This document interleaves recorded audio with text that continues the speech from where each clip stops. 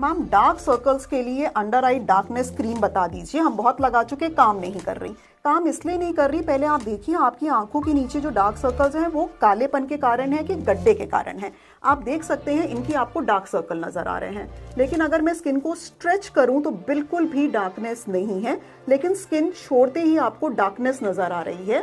That's because इनकी जो आँखों के नीचे है फैट डिजोल्व हो गया है। विदाउट किसी कारण बिकॉज़ ऑफ़ एजिंग तो वो जो गड्ढा वहाँ बन गया है नॉर्मल स्किन की बजाय गड्ढा वो डार्क दिख रहा है। सड़क होती है, गड्ढा होता है, वो डार्क दिखता है बिकॉज़ शेडो इफ़ेक्ट की वजह से। सेम चीज़ आपकी जब अंडर आई के अंदर फैट डिजोल्व हो जाए तो गड्ढा बन जाता है।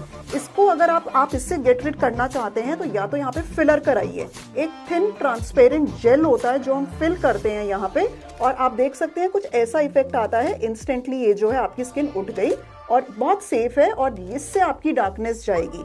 अगर आपकी जो स्किन को स्ट्रेच करके देख लीजिए डार्कनेस नहीं है तो डार्क सर्कल्स क्रीम की ज़रूरत नहीं है। या तो फैट ट्रांसफ़र कराइए या फिलर जाकि जो आपकी डार्कनेस है, वो चली जाए।